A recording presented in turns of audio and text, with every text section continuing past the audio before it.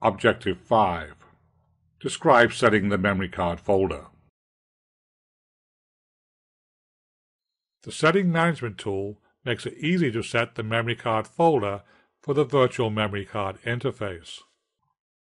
Insert a formatted USB memory stick in a USB port on the PC. If Windows indicates that a driver is being installed, wait until the device is ready before proceeding. Start the Setting Management tool.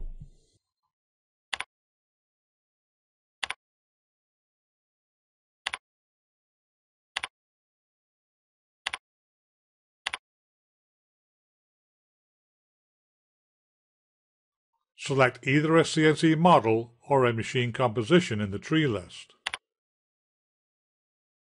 If a machine composition is selected, select the Use Following Setting radio button.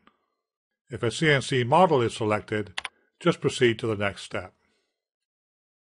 In the Setting Items area, click the drop-down next to the memory card folder setting item and pick the Browse choice. On the Browse Folder dialog box, select Computer. From the list of drives displayed, select the USB memory card device.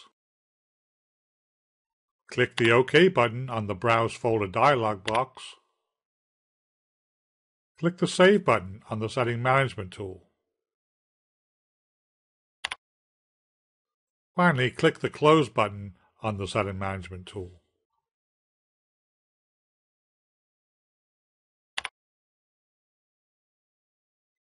Now you can input and output to the USB memory stick using the standard CNC input-output procedures.